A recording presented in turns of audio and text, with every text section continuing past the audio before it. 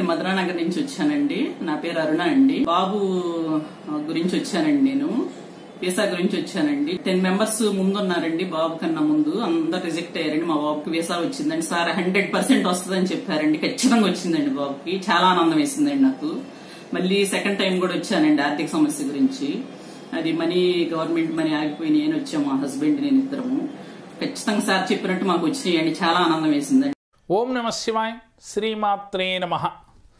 మీ ఇంటి ఆవరణలో గనక ఈ చెట్టును మీరు పెట్టారు అంటే మీ ఇంటి దరిదాపుల్లో కూడా శత్రుపీడలు నరఘోష నరపీడ వెంటనే తొలగిపోతాయి అని మన పెద్దలు తెలియచేస్తూ ఉన్నారు. సహజంగా ఈ చెట్టు అందరికీ తెలుసు.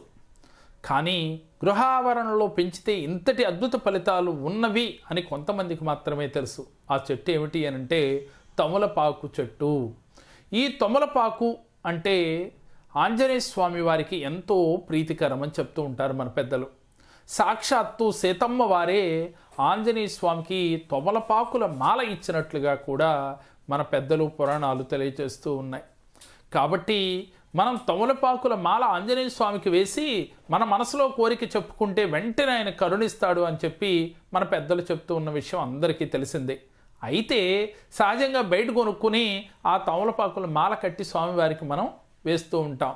కానీ మన ఇంటి ఆవరణలో తమలపాకు చెట్టు పెట్టి దాంట్లో ఎన్నో కన్నీ అంటే ఒకటో రెండో మూడో మన ఇంట్లో కాచిన అంటే పూచిన ఆకుల్ని తీసుకువెళ్ళి చక్కగా ఆ మాలలో వేసి కట్టి మిగిలిన ఆకులు బయట కొన్నవైనప్పటికీ కూడా అవి ఇవి రెండింటిని కలిపి కట్టి స్వామివారికి వేసినట్లయితే ఆ మాలని వెంటనే అనుగ్రహం కలుగుతుంది అని చెప్తున్నారు.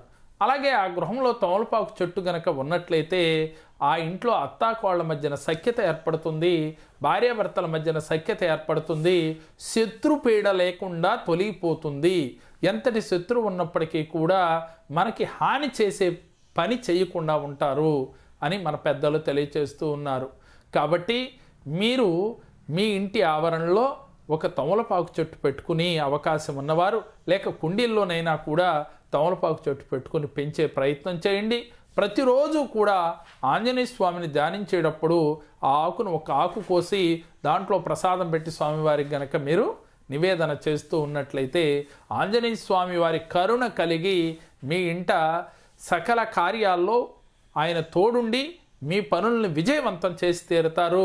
అలాగే ఈ యొక్క చెట్టు మీ ఇంటి ఆవరణలో ఉండటం వల్ల ఎటువంటి గ్రహదోషాలు కూడా మన ఇంటి దరిదాపులకు రావు అని చెప్తున్నారు కాబట్టి నమ్మకంతో ఆచరించండి. ముఖ్యంగా నమ్మకం ఉన్నవారు. ఆచరిస్తే దాని ఫలితం ఏమిటనేది మీకే తెలుస్తుంది. మేం చెప్పిన ఈ వీడియో మీకు నచ్చినట్లయితే లైక్ చేయండి మీ ఫ్రెండ్స్కి షేర్ చేయండి. మా మరిన్ని వీడియోలు మీరు చూడాలి అంటే మా జేకేఆర్ జెమ్ టీవీ మా జేకేఆర్ భక్తిని సబ్స్క్రైబ్ చేసుకోండి. ఓం నమ శివాయ